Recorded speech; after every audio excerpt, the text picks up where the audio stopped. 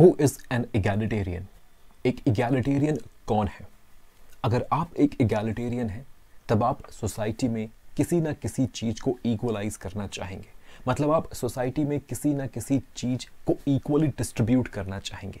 तो हम कह सकते हैं कि एक इगैलिटेरियन वो है जो चीज़ों को सोसाइटी में इक्वली डिस्ट्रीब्यूट करना चाहता है, जो चीज़ों के डिस्ट्रीब्यूशन को सोसाइटी में इक्वलाइज करना चाहता है। लेकिन यहाँ पर एक क्वेश्चन है। हम किस चीज़ को सोसाइटी में इक्वली डिस्ट्रीब्यूट करने की बात कर रहे हैं? किस चीज़ के डिस्ट्रीब्यूशन को हम सोसाइटी में इक्वलाइज करने की बात कर रहे हैं? इस क्वेश्चन का आंसर अलग अलग इगैलिटेरियंस के लिए अलग अलग हो सकता है। कुछ इगैलिटेरियंस अपॉर्चुनिटीज़ को इक्वली डिस्ट्रीब्यूट करना चाहते हैं। वो चाहते हैं कि सोसाइटी में हर किसी के पास अपने लाइफ को बेटर बनाने की इक्वल अपॉर्चुनिटीज़ हो। कुछ इगैलिटेरियंस इनकम और वेल्थ को इक्वली डिस्ट्रीब्यूट करना चाहते हैं।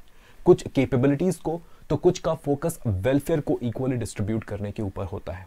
इस वीडियो में हम एक ऐसे इगैलिटेरियन अप्रोच को स्टडी करेंगे, जो रिसोर्सेज को सोसाइटी में इक्वली डिस्ट्रीब्यूट करने की बात करता है। इस इगैलिटेरियन अप्रोच को ही इक्वालिटी ऑफ़ रिसोर्सेज कहते हैं। इक्वालिटी ऑफ़ रिसोर्सेज के इस अप्रोच या इक्वालिटी ऑफ़ रिसोर्सेज के इस थियोरी को रोनाल्ड डॉकिन के द्वारा जॉन रॉल्स के जस्टिस की थियोरी के एक क्रिटिसिज्म के रूप में डेवलप किया गया था। तो रोनाल्ड डॉकिन की इक्वालिटी ऑफ़ रिसोर्स की थियोरी जस्टिस की भी एक थियोरी है। और जस्टिस की जितनी भी कंटेम्प्रेरी थियोरीज हैं, उन सभी में इक्वालिटी ऑफ़ रिसोर्स की थियोरी सबसे अधिक कॉम्प्लिकेटेड है। इस वीडियो में हम इक्वालिटी ऑफ़ रिसोर्स की थियोरी को समझने की कोशिश करेंगे। लेकिन इक्वालिटी ऑफ़ रिसोर्स की थियोरी का एक और इंपॉर्टेंट डायमेंशन है, जो कि जॉन रॉल्स के जस्टिस की थियोरी के क्रिटिसिज्म से जुड़ा हुआ है, कि किस तरह रोनाल्ड ड्वॉकिन जॉन रॉल्स के थियोरी ऑफ़ जस्टिस को क्रिटिसाइज करते हैं। इक्वालिटी ऑफ़ रिसोर्स के थियोरी के इस डायमेंशन को that means Dworkin's critique of Rawls theory of justice के इस टॉपिक को हमने पॉलिटिकल साइंस के हमारे ऑनलाइन कोर्स में डिस्कस किया है। यूपीएससी सिविल सर्विस एग्जामिनेशन में पॉलिटिकल साइंस ऑप्शनल के लिए और यूजीसी नेट जेआरएफ के एग्ज़ाम्स में पॉलिटिकल साइंस पेपर टू के लिए हमने पॉलिटिकल साइंस का एक ऑनलाइन कोर्स तैयार किया है, जहाँ हम पॉलिटिकल साइंस के इन सेवन यूनिट्स को डिटेल में कवर कर रहे हैं। कोर्स में इनरोलमेंट के लिए या कोर्स से रिलेटेड और अधिक जानकारी के लिए, आप व्हाट्सएप के माध्यम से हमें इस नंबर पर कॉन्टैक्ट कर सकते हैं। थैंक यू आइए, अब ये समझने की कोशिश करते हैं कि इक्वालिटी ऑफ़ रिसोर्स का मतलब क्या होता है। What is equality of resource Ronald Dworkin के अकॉर्डिंग सोसाइटी में डिफरेंट पर्सनालिटी के लोग रहते हैं अलग अलग तरह के लोग रहते हैं। हर किसी के अपने गोल्स होते हैं, अपने ऑब्जेक्टिव्स होते हैं, अपने चॉइसेस होते हैं, अपने प्रेफरेंसेस होते हैं। हर किसी का अपना एक कंसेप्शन ऑफ़ गुड लाइफ होता है। मतलब हर किसी का अपना एक लाइफ प्लान होता है। हर किसी की अपनी वैल्यूज़ होती हैं, जिन्हें लोग फॉलो करना चाहते हैं, जिन्हें लोग अचीव करना चाहते हैं। डॉकिन के अकॉर्डिंग इस तरह के जितने भी डाइवर्स लोग सोसाइटी में मौजूद हैं, इन सभी के प्रति जब गवर्नमेंट इक्वल कंसर्न शो करती है equal respect equal importance show करती है तभी सोसाइटी में जस्टिस की स्थापना होती है। तो जस्टिस का क्या मतलब है? जस्टिस का मतलब है, जितनी भी डाइवर्स पीपल हैं सोसाइटी में, इन सभी के प्रति इक्वल कंसर्न शो करना equal respect equal importance show करना, यही जस्टिस है। और ये जो इक्वल कंसर्न है इक्वल रेस्पेक्ट इक्वल इंपॉर्टेंस है, ये किन के द्वारा शो किया जाएगा? ये गवर्नमेंट के द्वारा। उनके द्वारा जो पावर को होल्ड करते हैं, जो पॉलिटिकल पावर को होल्ड करते हैं। उनके द्वारा ये equal concern equal respect equal importance show किया जाएगा सोसाइटी के हर उस व्यक्ति के प्रति जो सोसाइटी में रहता है। So justice requires showing equal concern equal importance and equal respect to all those who are ruled by the government और द अथॉरिटी डॉकिन कहते हैं कि ये जो इक्वल कंसर्न शो करना है इक्वल कंसर्न शो करना, ये किसी भी गवर्नमेंट की, किसी भी पॉलिटिकल अथॉरिटी की सबसे इंपॉर्टेंट वर्च्यू होती है। मतलब सबसे इंपॉर्टेंट क्वालिटी होती है, सबसे इंपॉर्टेंट एस्पेक्ट होता है किसी भी गवर्नमेंट का ये इक्वल कंसर्न शो करना। और इसी बात को हाईलाइट करने के लिए डॉकिन अपनी बुक का टाइटल रखते हैं sovereign virtue sovereign virtue the theory and practice of equality इसी बुक में डॉकिन इक्वालिटी ऑफ़ रिसोर्स के अपने थियोरी को प्रपाउंड करते हैं। तो सोसाइटी में अलग अलग लोग रहते हैं। सभी की पर्सनालिटी अलग अलग होती है। हर किसी के गोल्स ऑब्जेक्टिव प्रेफरेंसेस चॉइसेस अलग अलग होते हैं। गवर्नमेंट के लिए ये ज़रूरी है कि गवर्नमेंट सोसाइटी में जस्टिस को स्टैब्लिश करने के लिए गवर्नमेंट इन सभी लोगों के प्रति इक्वल कंसर्न इक्वल रेस्पेक्ट और इक्वल इंपॉर्टेंस शो करे। लेकिन अब क्वेश्चन यहाँ पर यह है कि इस इक्वल कंसर्न या इक्वल इंपॉर्टेंस शो करने का मतलब क्या होता है? What is the meaning of showing equal concern to every इसका मतलब क्या होता है? क्या इक्वल कंसर्न शो करने का ये मतलब है कि गवर्नमेंट ये इंश्योर करे कि सोसाइटी में जितने भी लोग हैं, वो सभी अपने अपने गोल्स या ऑब्जेक्टिव्स को अचीव कर लें। सोसाइटी में रहने वाले हर इंडिविजुअल का प्रेफरेंस और डिज़ायर्स सेटिस्फाइड हो जाए, हर कोई हैप्पीनेस और वेलफेयर को अचीव कर ले। क्या ये मतलब है इक्वल कंसर्न शो करने का? डॉकिन कहते हैं कि इक्वल कंसर्न शो करने का या इक्वल इंपॉर्टेंस शो करने का ये एक अप्रोच हो सकता है, या सोसाइटी में इक्वालिटी को इस्टेब्लिश करने का ये एक अप्रोच हो सकता है। इस अप्रोच को हम इक्वालिटी ऑफ़ वेलफेयर कहते हैं। यहाँ कोशिश ये होती है कि हर किसी के प्रेफरेंसेस को इक्वली सेटिस्फाई किया जाए। क्योंकि जब लोगों के प्रेफरेंसेस सेटिस्फाइड होंगे, लोगों के डिज़ायर्स उनके ऑब्जेक्टिव्स जब सेटिस्फाइड होंगे, तब लोग हैप्पीनेस को एक्सपीरियंस करेंगे और हैप्पीनेस को एक्सपीरियंस करना ही वेलफेयर होता है। इक्वालिटी ऑफ़ वेलफेयर के इस अप्रोच को मेनली यूटिलिटेरियन थिंकर्स के द्वारा अडॉप्ट किया जाता है। लेकिन Ronald Dworkin equality of welfare के अप्रोच के अगेंस्ट है। Okay Ronald Dworkin equality of welfare के इस अप्रोच को रिजेक्ट करते हैं, इसे क्रिटिसाइज करते हैं। क्वेश्चन है कि डॉकिन इक्वालिटी ऑफ़ वेलफेयर के इस अप्रोच को क्यों रिजेक्ट करते हैं? देखिए डॉकिन कहते हैं कि इक्वालिटी ऑफ़ वेलफेयर के इस अप्रोच के साथ दो बड़ी प्रॉब्लम्स जुड़ी हुई हैं, दो बड़ी समस्याएँ जुड़ी हुई हैं। पहला है एक्सपेंसिव टेस्ट का प्रॉब्लम और दूसरा है अडेप्टिव प्रेफरेंस का प्रॉब्लम देखिए, अगर हम इक्वालिटी ऑफ़ वेलफेयर को अपनाते हैं तो हमारा फोकस होगा लोगों के प्रेफरेंसेस को सेटिस्फाई करना। मान लीजिए कि दो लोग हैं इनमें से एक के प्रेफरेंसेस एक के डिज़ायर्स बहुत ही लिमिटेड हैं, बहुत ही सिंपल हैं। मतलब इस व्यक्ति के डिज़ायर्स सिंपल हैं, जिसे कम रिसोर्सेज के थ्रू भी सेटिस्फाई किया जा सकता है। लेकिन जो दूसरा व्यक्ति है, उसकी प्रेफरेंसेस और उसके डिज़ायर्स एक्सपेंसिव हैं। उसके डिज़ायर्स बहुत ही एक्सपेंसिव है। फॉर एग्ज़ाम्पल उसे बड़ी बड़ी गाड़ियों का शौक है।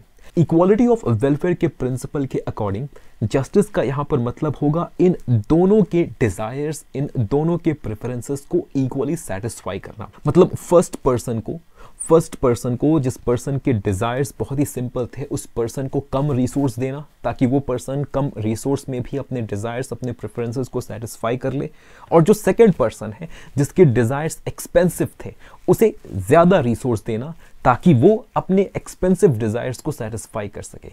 डॉकिन इसे ही प्रॉब्लम ऑफ़ एक्सपेंसिव टेस्ट कहते हैं। तो इक्वालिटी ऑफ़ वेलफेयर के केस में, हम उन लोगों को कम रिसोर्सेज देंगे, जिनके डिज़ायर्स सिंपल हो ओके okay? और उन लोगों को हम अधिक रिसोर्सेज देंगे जिनके डिज़ायर्स सिंपल नहीं हो एक्सपेंसिव हो। और डॉकिन कहते हैं कि ऐसा करना ये काउंटर इंट्यूटिव है कि आप किसी को उनके एक्सपेंसिव टेस्ट के लिए अधिक रिसोर्सेज देते हैं और किसी को उनके सिंपल डिज़ायर्स के लिए कम रिसोर्सेज देते हैं। ये काउंटर इंट्यूटिव है। इक्वालिटी ऑफ़ वेलफेयर का दूसरा प्रॉब्लम है अडेप्टिव प्रेफरेंसेस मान लीजिए कि आप एक ऐसे सोसाइटी में रहते हैं जहाँ इक्वालिटी ऑफ़ वेलफेयर के प्रिंसिपल को फॉलो किया जाता है लेकिन आपके डिज़ायर्स लिमिटेड और सिंपल हैं। आपको बड़ी गाड़ियों का नहीं बल्कि आपको सिंपल बाइसिकल का शौक है। अब क्योंकि आप ये जानते हैं कि अगर आपके डिज़ायर्स एक्सपेंसिव भी होते तो भी इस सोसाइटी में आपके डिज़ायर्स को सेटिस्फाई किया जाता। ओके okay, आपको आपके डिज़ायर्स को सेटिस्फाई करने के लिए रिसोर्सेज दिए जाते इवन इफ़ आपके डिज़ायर्स एक्सपेंसिव होते। इस बात को जानने के बाद आप जान कर आप जान कर अपने डिज़ायर्स और अपने प्रेफरेंसेस को एक्सपेंसिव बनाएँगे। अब आप कहेंगे कि आपको बाइसिकल्स का नहीं, बल्कि आपको महँगी गाड़ियों का शौक है। आप जानबूझकर इंटेंशनली अपने प्रेफरेंसेस को अपग्रेड करेंगे, उन्हें एक्सपेंसिव बनाएँगे। डॉकिन इसे ही प्रॉब्लम ऑफ़ अडेप्टिव प्रेफरेंस कहते हैं। तो मेनली इन दो इश्यूज़ के वजह से डॉकिन इक्वालिटी ऑफ़ वेलफेयर के अप्रोच को रिजेक्ट करते हैं। और इक्वालिटी ऑफ़ वेलफेयर की जगह डॉकिन अपने इक्वालिटी ऑफ़ रिसोर्स को प्रपोज करते हैं। इक्वालिटी ऑफ़ रिसोर्सेज का मतलब है लोगों को इक्वल रिसोर्स प्रोवाइड करना ताकि लोग अपने अपने गोल्स को अपने अपने ऑब्जेक्टिव्स और अपने अपने प्रेफरेंसेस को अचीव करने के लिए इक्वली केपेबल बन सके। यहाँ पर that means equality of resources के केस में एंड्स को इक्वलाइज करने की बात नहीं हो रही। ओके आउटकम को इक्वलाइज करने की बात नहीं हो रही, बल्कि यहाँ पर एंड्स को अचीव करने के लिए आउटकम्स को अचीव करने के लिए जो मीन्स हैं, जो साधन हैं, उन्हें इक्वलाइज करने की बात हो रही है। इक्वालिटी ऑफ़ रिसोर्सेज का मतलब है कि अपने अपने गोल्स को अपने अपने प्रेफरेंसेस को अचीव करने के लिए हर व्यक्ति को इक्वल रिसोर्सेज दी जाए। हर व्यक्ति को इक्वल रिसोर्सेज दी जाए ताकि हर व्यक्ति इक्वली केपेबल बने अपने अपने इंडिविजुअल प्रेफरेंसेस अपने अपने इंडिविजुअल गोल्स और ऑब्जेक्टिव्स को अटेन करने के लिए अचीव करने के लिए हर व्यक्ति इक्वली केपेबल बने और ऐसा करने के लिए हर किसी को इक्वल रिसोर्स दिया जाए। यह है इक्वालिटी ऑफ़ रिसोर्सेज का मतलब। लेकिन क्या इक्वालिटी ऑफ़ रिसोर्सेज का ये मतलब है कि हम हर किसी को इक्वल अमाउंट ऑफ़ रिसोर्स देंगे? Okay equal quantity of resource देंगे। क्या इक्वालिटी ऑफ़ रिसोर्स का मतलब ये है कि हर किसी को इक्वल अमाउंट या इक्वल क्वांटिटी ऑफ़ रिसोर्सेज दिया जाएगा ताकि लोग अपने अपने गोल्स और प्रेफरेंसेस को अचीव कर सके अपने अपने गोल्स और प्रेफरेंसेस को अचीव करने के लिए इक्वली केपेबल बन सके। इस क्वेश्चन का आंसर है नहीं। इक्वालिटी ऑफ़ रिसोर्स का ये मतलब नहीं है कि हर किसी को इक्वल अमाउंट ऑफ़ रिसोर्स दिया जाएगा। देखिए, इस बात को हमने बिगनिंग में ही एज्यूम किया था कि सोसाइटी में अलग अलग पर्सनालिटी के लोग रहते हैं। अलग अलग पर्सनालिटी के लोग रहते हैं जिनके गोल्स प्रेफरेंसेस और ऑब्जेक्टिव्स भी उनके पर्सनालिटी के अकॉर्डिंग अलग अलग होंगे डाइवर्स होंगे। मान लीजिए कि तीन लोग हैं। एक का गोल है डॉक्टर बनना, दूसरे का गोल है टीचर बनना और तीसरे का गोल है सिंगर बनना। अब ये तीन तरह के लोग हैं। तीनों के पर्सनालिटीज अलग अलग हैं। तीनों के गोल्स अलग अलग हैं, इसलिए इन तीनों के रिसोर्सेज की रिक्वायरमेंट्स भी अलग अलग होगी ओके इक्वालिटी ऑफ़ रिसोर्स का मतलब इन तीनों को आइडेंटिकल बंडल ऑफ़ रिसोर्स देने से नहीं है। इक्वालिटी ऑफ़ रिसोर्स का मतलब इन तीनों को इक्वल क्वांटिटी ऑफ़ रिसोर्स को देने से नहीं है।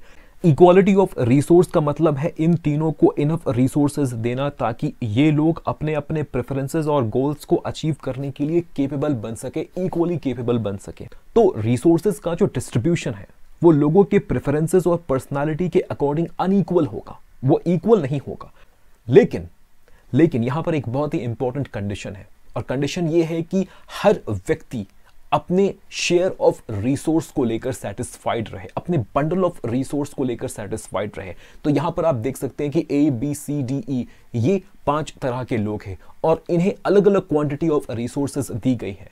रिसोर्स का ये जो एलोकेशन है ये इक्वल नहीं है। लेकिन अगर ए बी सी डी और ई e, ये पाँचों अपने अपने बंडल ऑफ़ रिसोर्सेज को लेकर सेटिस्फाइड है अपने अपने बंडल ऑफ़ रिसोर्सेज को लेकर सेटिस्फाइड है और कोई अपने बंडल ऑफ़ रिसोर्स को किसी दूसरे के बंडल ऑफ़ रिसोर्सेज के साथ एक्सचेंज करना नहीं चाहता है, तब ये जो डिस्ट्रीब्यूशन होगा रिसोर्स का, ये जो एलोकेशन होगा रिसोर्सेज का, इन पाँचों के बीच ये एलोकेशन इक्वल होगा। इसे डॉकिन एनवी टेस्ट को पास करना कहते हैं। देखिए एनवी का मतलब होता है जेलसी जब आप किसी और के साथ अपने आप को कंपेयर करते हैं और फिर आप ये देखते हैं कि जो दूसरा व्यक्ति है, वो आपसे बेहतर है और उस व्यक्ति के बेहतर कंडीशन को देखकर आप उस व्यक्ति से जलस फील करते हैं। इसे एनवी कहा जाता है। यहाँ पर डॉकिन हमें यह बताना चाहते हैं कि जब रिसोर्सेज का डिस्ट्रीब्यूशन होगा लोगों के बीच डेफिनेटली ये जो डिस्ट्रीब्यूशन है, ये जो एलोकेशन है रिसोर्सेज का, ये अनइक्वल होगा। लोगों को उनके चॉइसेस और उनके प्रेफरेंसेस के अकॉर्डिंग रिसोर्स एलोकेट किए जाएँगे बंडल ऑफ़ रिसोर्सेस दिए जाएँगे। लेकिन जब कोई एक व्यक्ति अपने बंडल ऑफ़ रिसोर्स को लेकर सेटिस्फाइड होगा और अपने बंडल ऑफ़ रिसोर्सेज को वो किसी दूसरे व्यक्ति के बंडल ऑफ़ रिसोर्स के साथ एक्सचेंज करना नहीं चाहेगा, तब इसका ये मतलब है कि वो व्यक्ति किसी दूसरे के रिसोर्स को देखकर वो जेलस फील नहीं हो रहा। यहाँ पर एनबी टेस्ट पास हो जाएगा और जब एनबी टेस्ट पास हो जाएगा, तभी एक एलोकेशन एक डिस्ट्रीब्यूशन रिसोर्स का उसे हम इक्वल कह पाएँगे। मतलब मेरे पास जो बंडल ऑफ़ रिसोर्स है, उसे लेकर मैं सेटिस्फाइड हूँ। आपके पास जो बंडल ऑफ़ रिसोर्स है, उसे लेकर आप सेटिस्फाइड हैं। अगर क्वांटिटी वाइज देखें तो आपके पास जो बंडल ऑफ़ रिसोर्स है, उसकी क्वांटिटी मेरे रिसोर्स की क्वांटिटी से अधिक है। लेकिन फिर भी, लेकिन फिर भी मैं अपने रिसोर्स के बंडल को लेकर सेटिस्फाइड हूँ। मैं अपने रिसोर्स बंडल को आपके रिसोर्स के साथ एक्सचेंज करने के लिए तैयार नहीं हूँ। जब ये होगा जब ये कंडीशन सेटिस्फाइड होगा, तब हम दोनों के बीच रिसोर्स का जो डिस्ट्रीब्यूशन है, वो एनवी टेस्ट को पास करेगा और रिसोर्स का ये डिस्ट्रीब्यूशन तब इक्वल कहलाएगा। तो रिसोर्सेज के डिस्ट्रीब्यूशन के इक्वल होने का पहला कंडीशन है रिसोर्सेज के डिस्ट्रीब्यूशन का एनवी टेस्ट को पास करना। लेकिन आपको यहाँ पर एक बात याद रखना है कि ये जो एनवी टेस्ट है रिसोर्स डिस्ट्रीब्यूशन से रिलेटेड ये जो एनवी टेस्ट है, ये रिसोर्स डिस्ट्रीब्यूशन के सिर्फ़ इनिशियल स्टेज के लिए ही एप्लीकेबल होता है। इनिशियल एलोकेशन ऑफ़ रिसोर्स के लिए ही ये एनवी टेस्ट एप्लीकेबल होता है, बाद के लिए नहीं। इस पॉइंट को हम आगे और डिटेल में समझेंगे। तो रिसोर्सेज के डिस्ट्रीब्यूशन के इक्वल होने का पहला कंडीशन है एनवी टेस्ट का पास करना और दूसरा कंडीशन है, दूसरा कंडीशन है रिसोर्सेज के डिस्ट्रीब्यूशन का एम्बिशन सेंसिटिव होना। यह भी बहुत ही इंपॉर्टेंट कंडीशन है ओके? रिसोर्सेज का जो डिस्ट्रीब्यूशन होगा, ये डिस्ट्रीब्यूशन एम्बिशन सेंसिटिव होगा। एम्बिशन यहाँ पर लोगों के चॉइसेस लोगों के प्रेफरेंसेस और डिसीजंस को डिनोट करता है। तो रिसोर्सेज का डिस्ट्रीब्यूशन जब एम्बिशन सेंसिटिव होगा, तब लोगों को जो रिसोर्सेज मिलेंगे, जो बंडल ऑफ़ रिसोर्सेज लोगों को मिलेंगे, वो उनके खुद के डिसीजंस उनके खुद के प्रेफरेंसेस और चॉइसेस पर बेस्ड होंगे। आप जो चुनेंगे, आपको वो मिलेगा। अगर आप सिंगर बनना चाहते हैं तो आपको रिसोर्सेज आपके इसी चॉइस के अकॉर्डिंग दी जाएगी। अगर आप डॉक्टर बनना चाहते हैं तो आपको रिसोर्सेज आपके इसी प्रेफरेंस के अकॉर्डिंग दी जाएगी। इस तरह के रिसोर्स डिस्ट्रीब्यूशन को ही हम एम्बिशन सेंसिटिव डिस्ट्रीब्यूशन कहते हैं। तो यहाँ तक हमने जो कुछ भी समझा, उसे हम समराइज करते हैं। रिसोर्सेज का एक डिस्ट्रीब्यूशन हुआ। ओके और ये जो डिस्ट्रीब्यूशन है, ये डिस्ट्रीब्यूशन इक्वल था। क्यों? क्योंकि लोगों को उनके चॉइसेस उनके प्रेफरेंसेस के अकॉर्डिंग रिसोर्सेज दिए गए। और हर कोई रिसोर्सेज के अपने शेयर को लेकर रिसोर्सेज के अपने बंडल को लेकर सेटिस्फाइड था। और कोई भी अपने रिसोर्स के बंडल को किसी और के रिसोर्स के बंडल से एक्सचेंज करना नहीं चाहता था। इसलिए रिसोर्स का ये जो डिस्ट्रीब्यूशन हुआ, ये एक इक्वल डिस्ट्रीब्यूशन था। और आपको याद रखना है कि रिसोर्सेस का ये जो डिस्ट्रीब्यूशन है, ये इनिशियल स्टेज है। रिसोर्स डिस्ट्रीब्यूशन का इनिशियल स्टेज है। रिसोर्स एलोकेशन का इनिशियल स्टेज है। लोगों ने अभी तक अपने लिए जो गोल्स सेट किए हैं, उन गोल्स को लोगों ने अचीव नहीं किया है। हम सिर्फ़ लोगों को उनके गोल्स के अकॉर्डिंग उनके चॉइसेस के अकॉर्डिंग रिसोर्सेज दे रहे हैं। अब लोगों का काम है इन रिसोर्सेज के ऊपर एक्ट करना। और अपने अपने गोल्स की तरफ़ आगे बढ़ना। अब मान लीजिए कि रिसोर्स एलोकेशन के इस इनिशियल स्टेज के कुछ सालों के बाद स्थिति कुछ ऐसी होती है। ओके okay, कुछ सालों के बाद स्थिति कुछ ऐसी होती है। कुछ लोग लाइफ में सक्सेसफुल होते हैं। वे लोग जिन्होंने अपने गोल्स को अचीव कर लिया जिस ऑब्जेक्टिव को जिन लोगों ने अपने लाइफ में सेट किया था उन ऑब्जेक्टिव्स को अचीव कर लिया तो वो लोग सक्सेसफुल होते हैं। लेकिन कुछ ऐसे लोग भी होते हैं जो पीछे रह जाते हैं। ओके okay, जो अपने गोल्स को अचीव नहीं कर पाते उन्हें रिसोर्स तो मिला लेकिन फिर भी उन्होंने अपने गोल्स को अचीव नहीं किया। तो कुछ सालों के बाद स्थिति कुछ ऐसी होगी जो कि डेफिनेटली एक अनईक्वल सिचुएशन होगा एक इनइक्वालिटी का सिचुएशन होगा। लेकिन अब क्वेश्चन यहाँ पर यह है।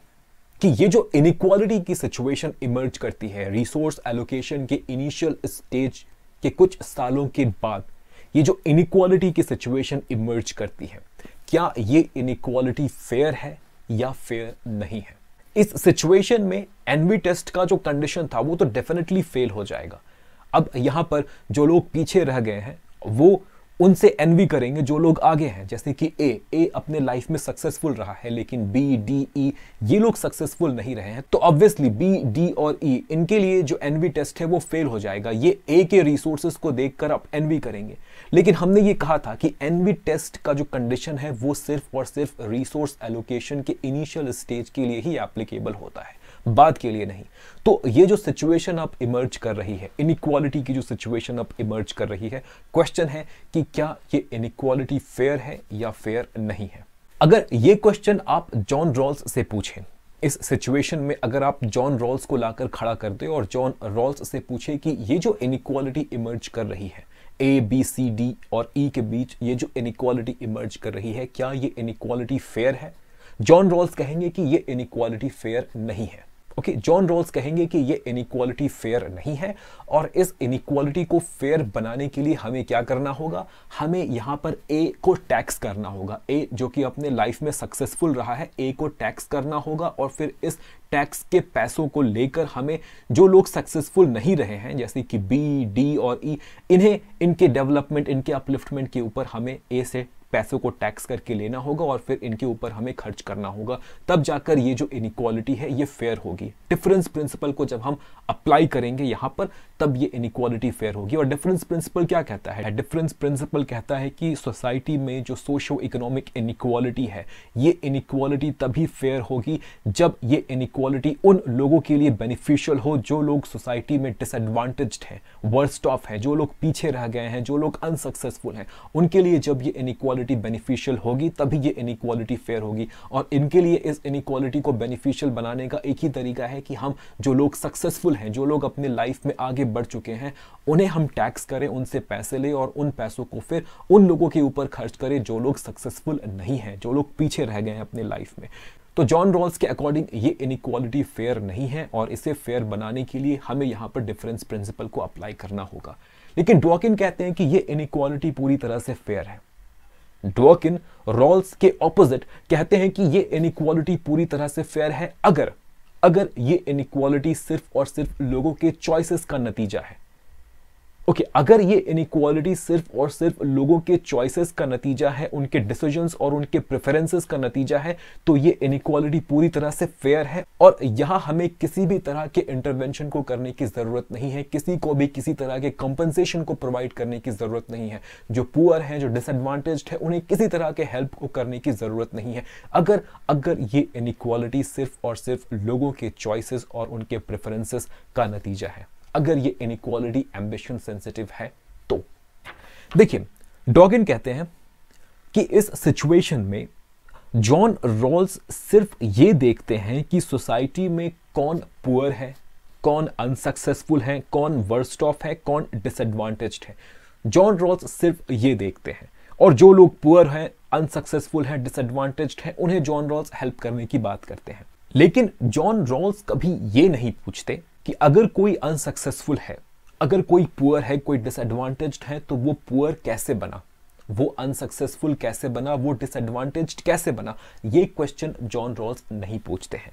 लेकिन रोनाल्ड डॉकिन इस क्वेश्चन को पूछते हैं कि अगर कोई डिसएडवांटेज है, अगर बी सी डी ई अगर ये लोग डिसएडवांटेज हैं, अगर ये लोग अनसक्सेसफुल हैं तो ये अनसक्सेसफुल कैसे बने?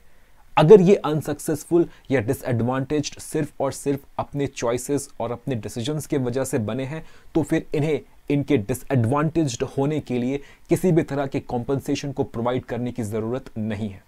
इस सिचुएशन को आप एग्जामिन करिए। जब ए बी सी डी और ई e, इनके बीच रिसोर्सेज का इनिशियल डिस्ट्रीब्यूशन हुआ था इनिशियल एलोकेशन हुआ था तब इन सभी को इक्वल रिसोर्सेज प्रोवाइड किया गया था। क्वांटिटी वाइज नहीं लेकिन इनके चॉइसेस और इनके प्रेफरेंसेस को ध्यान में रखते हुए इन्हें इक्वल रिसोर्सेस प्रोवाइड किया गया था। रिसोर्स डिस्ट्रीब्यूशन के इनिशियल स्टेज में ए बी सी डी और ई e ये सभी अपने अपने शेयर ऑफ़ रिसोर्स को लेकर सेटिस्फाइड थे। कोई भी अपने बंडल ऑफ़ रिसोर्स को किसी दूसरे के बंडल ऑफ़ रिसोर्स के साथ एक्सचेंज नहीं करना चाहता था। लेकिन कुछ सालों के बाद इन सभी में से कुछ लोग फॉर एग्ज़ाम्पल ए ए ने मेहनत की, ए ने अपने समय का सदुपयोग किया और ए अपने रिसोर्स को यूज़ कर कर अपने गोल तक पहुँचा, अपने ऑब्जेक्टिव तक पहुँचा। लेकिन बाकी जो लोग थे, उन्होंने अपने रिसोर्सेस को वेस्ट किया।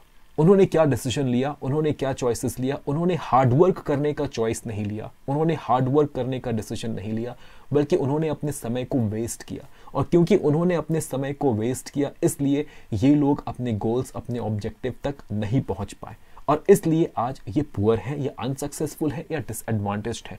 तो डॉकिन कहते हैं कि अगर कोई डिसएडवांटेज है अपने चॉइसेस के वजह से, अपने प्रेफरेंसेस और अपने डिसीजंस की वजह से तो फिर उस डिसएडवांटेज व्यक्ति को, उसके डिसएडवांटेजेस के लिए गवर्नमेंट के द्वारा किसी भी तरह के कॉम्पनसेशन को प्रोवाइड करने की ज़रूरत नहीं है। डॉकिन क्लियरली कहते हैं कि हमें हमारे चॉइसेस और डिसीजंस के कंसिक्वेंसेस के लिए खुद रिस्पॉन्सिबल होना होगा। अगर हमारे पास रिसोर्सेस थे, हमारे पास समय था, लेकिन हमने खुद इन रिसोर्सेस को वेस्ट करने का डिसीज़न लिया, अपने समय को वेस्ट करने का डिसीज़न लिया, और अगर इन रिसोर्सेज और समय के वेस्टेज की वजह से हम पुअर और अनसक्सेसफुल बनते हैं, तब हमारे इस पुअर और अनसक्सेसफुल होने के लिए हम खुद रिस्पॉन्सिबल होंगे और हम स्टेट या सोसाइटी के द्वारा किसी भी तरह के हेल्प को फिर डिजर्व नहीं करेंगे। If you are disadvantaged because of your own choices and decisions, then you do not deserve any compensation from state or the government. डॉकिन के इस आर्ग्यूमेंट को समझने के लिए आपको डॉकिन के लक के कॉन्सेप्ट को भी समझना होगा। डॉकिन कहते हैं कि दो तरह के लक होते हैं ऑप्शन लक और ब्रूट लक ऑप्शन लक मतलब जहाँ आप जानबूझकर इंटेंशनली रिस्क लेते हैं या किसी चॉइस को लेते हैं। फॉर एग्ज़ाम्पल आपको पता है कि अगर आप हार्ड वर्क नहीं करेंगे तो आप लाइफ में फेल हो सकते हैं, आप अनसक्सेसफुल हो सकते हैं और अल्टीमेटली आप पॉवर्टी में जा सकते हैं। हार्डवर्क नहीं करने के इस कंसिक्वेंसेस को जानते हुए भी अगर आप हार्डवर्क नहीं करते हैं हार्डवर्क नहीं करने का डिसीज़न लेते हैं और अगर आप सच में पुअर और अनसक्सेसफुल बन जाते हैं तो ये आपका बैड ऑप्शन लक होगा। ऑप्शन लक के केस में चीज़ें आपके कंट्रोल में होती हैं। आपके साथ क्या होगा या क्या नहीं होगा, ये आपके चॉइसेस पे डिपेंड करता है। तो अगर आपके साथ कुछ बुरा होता है, आप पुअर अनसक्सेसफुल या डिसएडवांटेज बनते हैं और इसके लिए आपका ऑप्शन लक यहाँ रिस्पॉन्सिबल है तो इस केस में आप सोसाइटी या गवर्नमेंट से किसी तरह के कॉम्पनसेशन या हेल्प को एक्सपेक्ट नहीं कर सकते। तो रिसोर्स एलोकेशन के इनिशियल स्टेज के बाद अगर एनवी टेस्ट फेल होता है और एनवी टेस्ट के फेल होने के पीछे ऑप्शन लक रिस्पॉन्सिबल है तो यहाँ पर आप किसी भी तरह के कंपनसेशन को डिजर्व नहीं करते हैं। लेकिन यहाँ पर एक क्वेश्चन है कि अगर एनवी टेस्ट के फेल होने के पीछे ऑप्शन लक नहीं, बल्कि ब्रूट लक रिस्पॉन्सिबल है, तब क्या होगा? अगर आप सोसाइटी में पुअर डिसएडवांटेज बन जाते हैं, लेकिन इसके लिए आपके खुद के चॉइसेस रिस्पॉन्सिबल नहीं है, आपके खुद के डिसीज़न रिस्पॉन्सिबल नहीं है, बल्कि कुछ ऐसे फैक्टर्स रिस्पॉन्सिबल है जिन फैक्टर्स के ऊपर आपका कभी कंट्रोल नहीं था अगर इन फैक्टर्स की वजह से, इन फैक्टर्स की वजह से जिनके ऊपर आपका कंट्रोल नहीं था, इन फैक्टर्स की वजह से अगर आप पुअर या अनसक्सेसफुल या डिसएडवांटेज्ड बनते हैं, तब क्या आप कंपनसेशन को डिजर्व करेंगे? तब क्या आप हेल्प डिजर्व करेंगे? सोसाइटी से या गवर्नमेंट से हेल्प डिजर्व करेंगे? डॉकिन कहते हैं कि हाँ इस सिचुएशन में आप कॉम्पनसेशन डिजर्व करेंगे। इस सिचुएशन में आप हेल्प डिजर्व करेंगे। अगर आप ब्रूट लक का शिकार होते हैं डॉकिन के अकॉर्डिंग अगर आप ब्रूट लक का शिकार होते हैं, ब्रूट लक मतलब वैसी चीज़ें जिनके लिए आप खुद रिस्पॉन्सिबल नहीं हो, वैसी चीज़ें जो आपके कंट्रोल में नहीं है। फॉर एग्ज़ाम्पल डिजेबल्ड होना बाई बर्थ आपके शरीर में किसी तरह के फ़िज़िकल डिफेक्ट का होना, या किसी एक्सीडेंट को मीट करना, या किसी पुअर फैमिली में आपका जन्म होना, ये सब कुछ बैड ब्रूट लक का एग्ज़ाम्पल है। ये सब कुछ एक तरह के नेचुरल लॉटरी को रिप्रेजेंट करता है। लाइफ में आपको क्या मिलता है इस नेचुरल लॉटरी के थ्रू ये आपके कंट्रोल में नहीं है। आपको अच्छा भी मिल सकता है और बुरा भी मिल सकता है। जैसे आप बचपन से ही डिसेबल्ड हो, आपका आईक्यू लेवल बाकियों से बहुत कम हो, या फिर आप बचपन से ही टैलेंटेड हो, आपका आईक्यू लेवल बचपन से ही बाकियों से बहुत अधिक हो, ये सब कुछ ब्रूट लक को रिप्रेजेंट करता है। डॉगिन कहते हैं कि अगर आप बैड ब्रूट लक के शिकार होते हैं bad brute luck okay good brute luck नहीं बैड ब्रूट लक अगर आप बैड ब्रूट लक के शिकार होते हैं, अगर आप में कोई डिजेबिलिटी है, या आप किसी एक्सीडेंट को मीट करते हैं, या कुछ भी आपके साथ ऐसा होता है जो कि आपके कंट्रोल में नहीं है मतलब अगर आप अपनी पुअर कंडीशन के लिए खुद रिस्पॉन्सिबल नहीं है, बल्कि आपका पुअर होना या आपका डिसएडवांटेज होना, ये कुछ ऐसे फैक्टर्स की वजह से हैं जो फैक्टर्स आपके कंट्रोल में नहीं थे तो यहाँ पर आप कंपनसेशन डिजर्व करते हैं। यहाँ पर ज़रूरत है कि गवर्नमेंट या सोसाइटी आपको आपके इस डिसएडवांटेज के लिए कंपनसेट करे, आपको हेल्प करे। फॉर एग्ज़ाम्पल आपके लिए गवर्नमेंट के द्वारा एफर्मेटिव एक्शन लिया जाए एफर्मेटिव एक्शन के पॉलिसीज़ बनाए जाए, आपके लिए गवर्नमेंट जॉब में सीट्स को रिज़र्व किया जाए, आपके लिए एजुकेशनल इंस्टीट्यूशन में सीट्स को रिज़र्व किया जाए रिजर्वेशन के थ्रू एफर्मेटिव एक्शन के थ्रू आपको कुछ बेनिफिट प्रोवाइड की जाए और आपके डिसएडवांटेज को कंपनसेट करने की कोशिश की जाए। तो इक्वालिटी ऑफ़ रिसोर्स की थियोरी कहती है कि अगर डिसएडवांटेज है या डिजेबिलिटी है आपके बैड ब्रूट लक की वजह से तो यहाँ आप कंपनसेशन डिजर्व करते हो। लेकिन लेकिन अगर डिजेबिलिटी है या डिसएडवांटेज है आपके ऑप्शन लक की वजह से, आपके चॉइसेस आपके प्रेफरेंसेस की वजह से तो यहाँ पर आप किसी तरह के कॉम्पनसेशन या हेल्प को डिजर्व नहीं करते। इसी आर्ग्यूमेंट को लक इगैलिटेरियनिज्म कहा जाता है। यहाँ आपको याद रखना है कि लक इगैलिटेरियनिज्म इस फ्रेज को रोनाल्ड डॉकिन ने क्वाइन नहीं किया है, इस फ्रेज को एलिजाबेथ एंडरसन के द्वारा क्वाइन किया गया है। तो डॉकिन के अकॉर्डिंग आपकी लाइफ सिर्फ़ उन चीज़ों से डिटरमाइंड और अफेक्टेड होनी चाहिए, जो चीज़ें आपके कंट्रोल में हैं। मतलब आप अपने लाइफ में जो कुछ भी फेस करते हैं फिर चाहे वो अच्छा हो या बुरा हो, ये सब कुछ आपके चॉइसेस और आपके डिसीजंस से ही डिराइव्ड होना चाहिए। ये सब कुछ सिर्फ़ और सिर्फ़ आपके चॉइसेस और आपके डिसीजंस का ही एक कंसिक्वेंस होना चाहिए। लेकिन अगर आप अपने लाइफ में कुछ ऐसी चीज़ों को फेस करते हो, जिसके लिए आप खुद रिस्पॉन्सिबल नहीं हो, या अगर आपके लाइफ को कुछ ऐसे फैक्टर्स डिटरमाइन कर रहे हैं, कुछ ऐसे फैक्टर्स अफेक्ट कर रहे हैं, जिनके ऊपर आपका कंट्रोल नहीं है तो ये गलत है, ये इनजस्टिस है। तो ये जो अनचोजन फैक्टर्स हैं, जिनके ऊपर आपका कंट्रोल नहीं है, इन्हें आप ब्रूट लक भी कह सकते हैं, या इन्हें आप नेचुरल इंडाउमेंट्स भी कह सकते हैं। देखिए इंडाउमेंट एक इंपॉर्टेंट टर्म है, जो कि इक्वालिटी ऑफ़ रिसोर्स की थियोरी में बार बार यूज़ किया जाएगा इंडाउमेंट इंडाउमेंट्स मतलब वे चीज़ें जो कि हमें नेचुरली मिली होती हैं, जिन चीज़ों को हम चुनते नहीं हैं। जो चीज़ें अनचूजन होती हैं, ये बस हमें मिल जाती हैं। हम ये नहीं कह सकते कि इन चीज़ों को हम डिज़र्व करते हैं या अनडिज़र्व करते हैं। ये चीज़ें मॉरली आर्बिट्ररी होती है। ये एक तरह के नेचुरल लॉटरी का नतीजा होती है। ये चीज़ें बस हमें मिल जाती हैं। ये अच्छी भी हो सकती हैं और बुरी भी हो सकती हैं। बस इन चीज़ों के ऊपर हमारा कंट्रोल नहीं होता। इसलिए इन्हें इंडाउमेंट्स कहते हैं। डॉकिन के अकॉर्डिंग रिसोर्सेज के डिस्ट्रीब्यूशन के इक्वल होने के लिए रिसोर्सेज के डिस्ट्रीब्यूशन का एम्बिशन सेंसिटिव होने के साथ साथ रिसोर्सेज के डिस्ट्रीब्यूशन का इंडाउमेंट इनसेंसिटिव भी होना ज़रूरी है। रिसोर्सेज के डिस्ट्रीब्यूशन के इंडाउमेंट इनसेंसिटिव होने से हमारा क्या मतलब है? इस बात को समझने के लिए हमें यहाँ पर एक एग्ज़ाम्पल का हेल्प लेना होगा। मान लीजिए कि दो लोग हैं एक्स और वाई दोनों को डॉक्टर बनना है। डॉक्टर बनना इन दोनों की प्रेफरेंस है। इन दोनों का चॉइस है कि इन्हें डॉक्टर बनना है और इन दोनों को इनके इस चॉइस इस प्रेफरेंस के अकॉर्डिंग इक्वल रिसोर्स दिया जाता है। लेकिन इन दोनों में से एक दैट मीन्स एक्स डॉक्टर बन जाता है और दूसरा दैट मीन्स वाई डॉक्टर नहीं बन पाता। तो एक्स और वाई दोनों ने इक्वल रिसोर्सेज के साथ शुरुआत की, लेकिन इन दोनों का फाइनल आउटकम सेम नहीं था। एक्स डॉक्टर बन गया, लेकिन वाई डॉक्टर नहीं बन पाया। वॉकिन के अकॉर्डिंग एक्स और वाई इन दोनों का ये जो फाइनल कंडीशन है, ये फाइनल कंडीशन फेयर होगा अगर एक्स और वाई के बीच इंडाउमेंट्स को लेकर कोई डिफरेंस नहीं है। मतलब अगर नेचुरल टैलेंट के मामले में एक्स और वाई सेम है, दोनों का आईक्यू लेवल सेम है, दोनों में कोई फ़िज़िकल डिजेबिलिटी नहीं है तो ये बात क्लियर है कि वाई डॉक्टर नहीं बन पाया क्यों? क्योंकि उसने मेहनत नहीं की। तो यहाँ पर एंडाउमेंट का कोई रोल नहीं है। यह सिचुएशन एंडाउमेंट इनसेंसिटिव होगा। यहाँ रोल सिर्फ़ एम्बिशन का है। एक्स ने हार्डवर्क किया वाई ने हार्डवर्क नहीं किया। इसलिए एक्स डॉक्टर बन गया और वाई डॉक्टर नहीं बन पाया।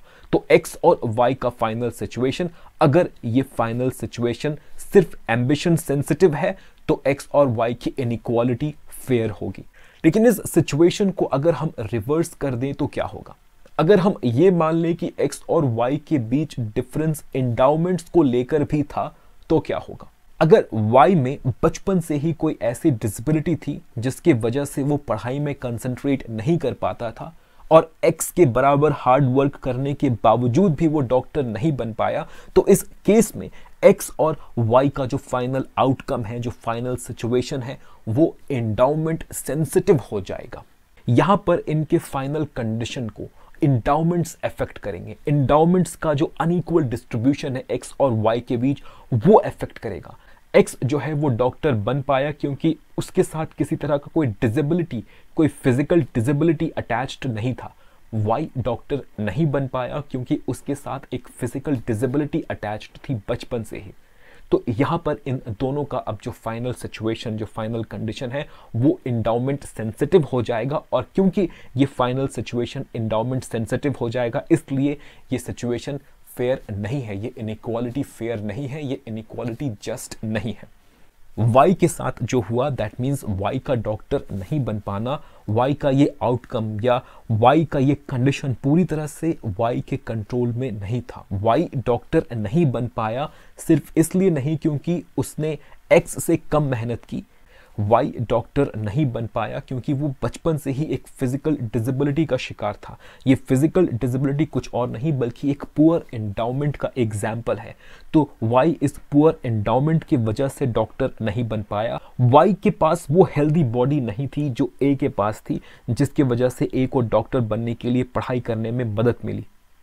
एक्स और वाई के सिचुएशन को जस्ट बनाने के लिए दैट मीन्स एक्स और वाई के इनक्वालिटी को फेयर बनाने के लिए हमें यहाँ पर वाई को उसके पुअर एंडाउमेंट्स के लिए कंपनसेशन प्रोवाइड करना होगा। जब हम वाई को उसके पुअर एंडाउमेंट्स या फ़िज़िकल डिजेबिलिटी के लिए एफर्मेटिव एक्शन के थ्रू या रिजर्वेशन के थ्रू कंपनसेट करेंगे मे बी उसे जॉब या एजुकेशनल इंस्टीट्यूशन में रिजर्वेशन प्रोवाइड करके, तब जो है एक्स और वाई का जो फाइनल आउटकम होगा, वो इंडाउमेंट इनसेंसिटिव बन पाएगा। तो डॉकिन कहते हैं कि अगर रिसोर्स का कोई डिस्ट्रीब्यूशन इंडाउमेंट सेंसिटिव है तो इस इंडाउमेंट सेंसिटिव डिस्ट्रीब्यूशन को इंडाउमेंट इनसेंसिटिव बनाने के लिए हमें यहाँ पर उन लोगों को, उन लोगों को, उन डिसएडवांटेज्ड लोगों को कॉम्पनसेशन प्रोवाइड करना होगा हेल्प प्रोवाइड करना होगा।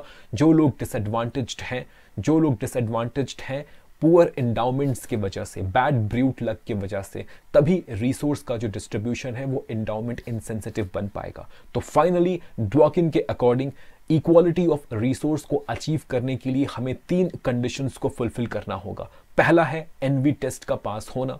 दूसरा है रिसोर्स के डिस्ट्रीब्यूशन का एम्बिशन सेंसिटिव होना। और तीसरा है रिसोर्स के डिस्ट्रीब्यूशन का इंडाउमेंट इनसेंसिटिव होना। तो यह है इक्वालिटी ऑफ़ रिसोर्स की पूरी थियरी अभी तक इस थियरी के अंतर्गत मैंने जितने भी आर्ग्यूमेंट्स आपके सामने प्रेजेंट किए, इन सभी आर्ग्यूमेंट्स को रोनाल्ड डोकिन एक थॉट एक्सपेरिमेंट के माध्यम से भी हमें इजीली समझाने की कोशिश करते हैं। आइए इस थॉट एक्सपेरिमेंट को हम समझते हैं। डोकिन कहते हैं कि इमेजिन करिए कि एक शिप है, एक शिप जिसमें हंड्रेड यात्री सवार हैं।